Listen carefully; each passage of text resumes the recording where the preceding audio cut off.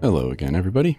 I wanted to take a few minutes today to talk about Latte Dock. I'm not sure if it's something you've heard of, but Latte Dock is a dock specifically for KDE Plasma. It is pretty fantastic. Not only is it a dock, it also lets you replace panels and very flexible layouts on the desktop. So what I'm going to do today is show you how to install it because it's unfortunately to get the newer version, it's really not as straightforward as just installing a package. It's not too bad, but it does take a few steps. And then I wanted to show a basic layout. I'm going to recreate something that's sort of like Mac OS-esque or something like that with the dock at the bottom and then a panel at the top. So to get started with this, I'm going to do what I feel like is the easiest way to do this for me. Now I run Kubuntu 1904 and I also have the backports. So if I come down here and look at the installation instructions, it says for Kubuntu only, if you add the repository for the PPA backports and then do your upgrades, you'll get the latest version of Plasma that's in the in the backports, which is usually the latest version of Plasma. Rik Mills does a really good job of keeping everything up to date you haven't tried Kubuntu and you want to try Plasma, I mean, it's really the way to go. Kubuntu team does such a great job of putting together a very solid Plasma distribution. They make tweaks to the default config. So if you were to run something like KDE Neon, the default Plasma settings are usable, but not necessarily ideal. There's some things like keyboard shortcuts and layouts and theming that ultimately I always end up adjusting to look like Kubuntu anyway, because the defaults they have are usually what I enjoy using. So I'm using Kubuntu with backports anyway. So that's the approach I'm going to take. You can do this with Neon or Arch. There are other ways to do it. But because I've already done the repository and I've got the latest updates, now I need to just install the rest of these packages.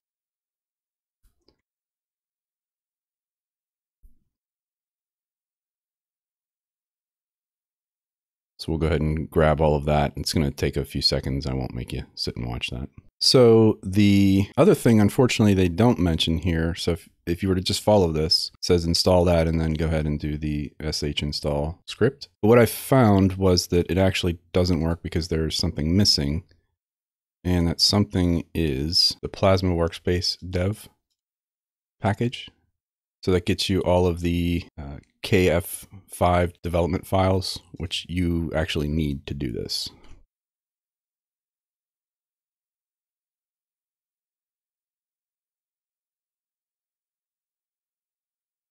And once we have that, we want to grab the repo here.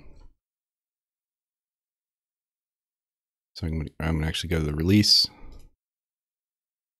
and grab my source code. All right, extract this.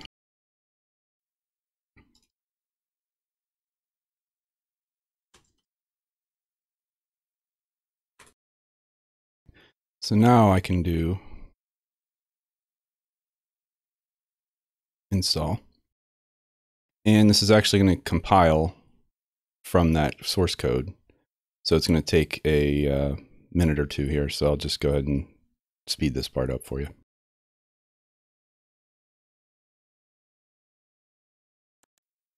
All right. So we have installed from source. And if I come and look for latte, there we go. All right. So it's going to give you a default dock. And I'll go ahead and just move this bar out of the way. That panel. And what I'm going to do is actually change layouts. Now the layout I want isn't listed right here, but if I go into configure, go to extended and click switch, it's going to go ahead and give me the layout I want. Now you see that my default panel is still in the background up there.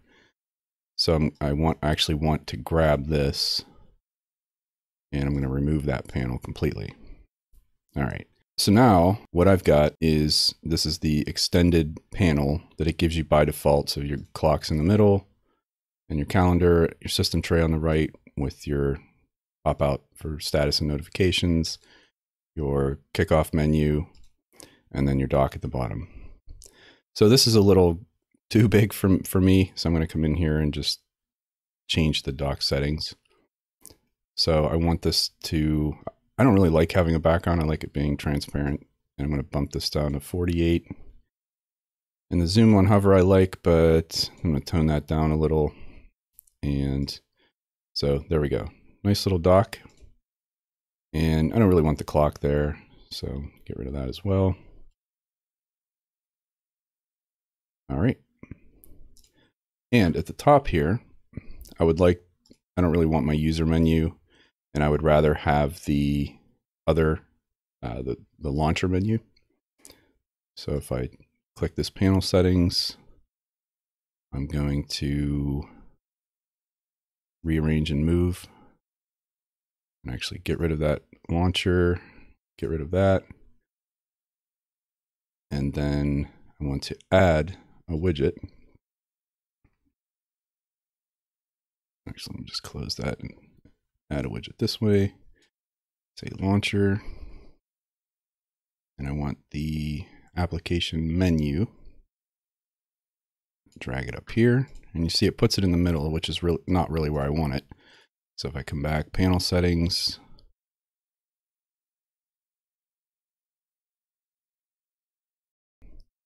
and rearrange and change my splitter over here ahead and close. Now you see it sticks it over on the left where I want it. The other thing I'd like to have, which is sort of Mac-esque, Mac OS-esque, is the uh, global menu. I kind of like that. So add a widget and stick that up here. And the same thing again. So it's going to um, doesn't show it until you start a new instance of the application. So here's my global menu for Dolphin. I don't want it to be in the middle. So let's do panel settings again. And we want the global menu to be the, to the left of that. Close. And now my global menu is over here. Clock is centered. Got my tray on the right. So there you go. What did that take me? Five minutes? 10 minutes? I'm not sure. Probably five.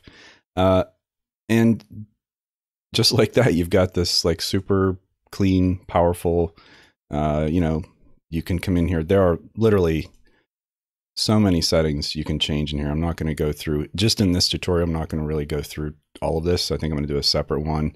I just wanted to show you a quick like how to get it installed. And then you can certainly come in and play around with it but I'll do a follow up because I want to show some of this appearance stuff as well. Just real quick, uh, I want to, I mean, you can just not have a background if you want it to be clear.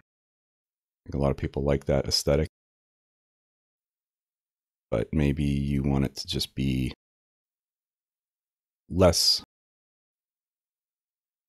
opaque. Let's do like 50%.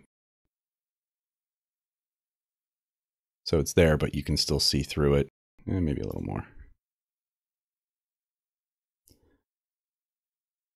Like 30. So there you go. Nice little shadow there. You can change that if you want. Um, the other thing is, so these are the sort of simple settings. But if you click advanced, all of a sudden now you've got lots and lots and lots of different settings here from the actions that you can take with the mouse under the behavior settings, whether it's you know showing or dodging. Appearance unlocks a lot of other stuff here as well. So you can set. There's things called smart coloring with for contrasting. There's a, a lot of stuff in here that I want to cover in subsequent videos, and I'm just going to break it up into smaller pieces so it's not too much all at once. But just know you turn on advanced, and all of a sudden you've got a ton of different options here. And really, I mean, it, it's kind of amazing how much is in here and how much it lets you change in Plasma in terms of panels and again, your dock and all of that.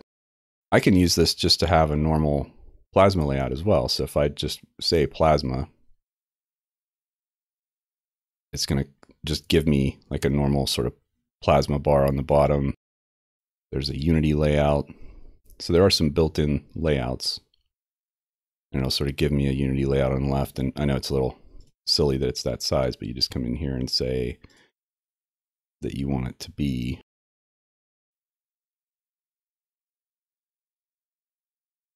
I believe there's something with the length here.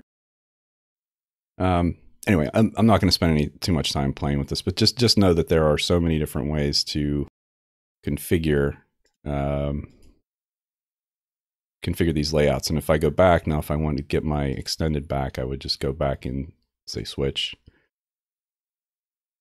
and it'll put it back the way I had it and it even remembers how I had it before. So yeah, this thing is is crazy. There's so much you can do with it. It's so powerful. If it, Plasma itself is already so configurable in terms of layouts and things like that, but this just takes it to a whole new level, and also just gives you a really super clean dock that you can do a ton of stuff with. It, it's really, really powerful. If you haven't checked it out, it's definitely worth it. There is a version, it's like 0.7 something in the repo itself. Yeah, 7, 7.4. So the one I have is 9.2, much newer. A lot of that stuff that you see in there is has been added as new features. 7.4 is completely usable. It's it's it's fine. Uh, but to get the the latest one, you just go through the steps I showed in the beginning of the video and well worth your time to try it out if you haven't. I have to say, you know, to the developer, I had made a video a few months ago ago about flexible desktop layouts in, in KDE Plasma, and I covered Latte Dock. And the developer himself actually, you know, replied here with the fact that I reviewed nice comments and all of that. And I'm and at the time I was using dot eight, so dot nine wasn't even out yet, and so he was explaining some of the things here. So I have to congratulate the developer on a lot of hard work here, and I'm going to link to his channel just so that you can watch some of his videos as well. Fantastic work, and I'm definitely going to keep digging into this and I'll have some more content on this coming up. Thanks for watching the video. I appreciate it. Like and subscribe and all those fun things, and I will see you in the next one. Take care, everyone.